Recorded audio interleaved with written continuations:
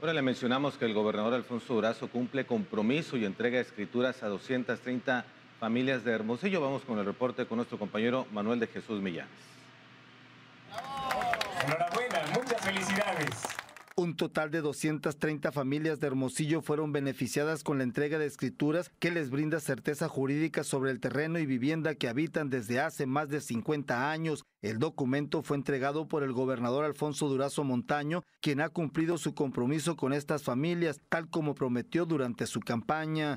Nosotros gobernamos bajo la lógica de que ya les toca a los que nunca les ha tocado nada.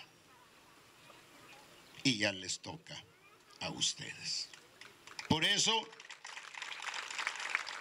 por eso estamos aquí. El mandatario estuvo acompañado por José Alonso Iracheta Carol, titular del Instituto Nacional de Suelos Sustentables INSUS, dependencia federal con quien se trabajó de la mano para lograr desburocratizar los trámites y obtener las escrituras, en este caso de familias de las colonias El Ranchito, Coloso Bajo y Coloso Alto de Hermosillo. El funcionario federal reconoció el esfuerzo del gobierno de Sonora por finalizar de una vez por todas esta larga espera que por décadas habían tenido sin que se les atendiera. Ahora dijo ya pueden sentirse tranquilos porque la casa ya es de ustedes, legal y oficialmente.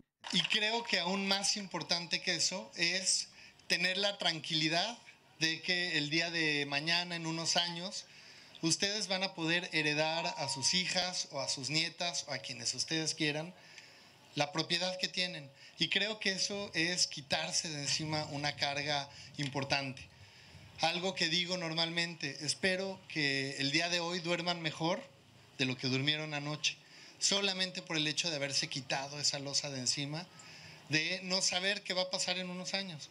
El gobernador Durazo dijo a las familias que la diferencia de estos gobiernos a los del pasado es que hoy existe el compromiso de servicio a la comunidad, se trabaja para servirles y cumplir con sus expectativas. Y les quiero presumir que en este objetivo de trabajar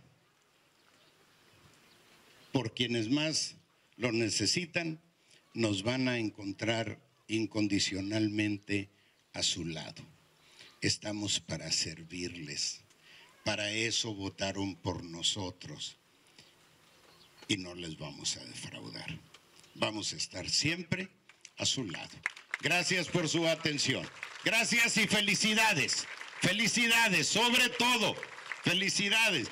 Acciones como esta, INSUS espera concretizar en el año 4.500 a favor de familias sonorenses, con imágenes de Carlos Argüelles. En Noticias Telemax, yo soy Manuel de Jesús Millanes.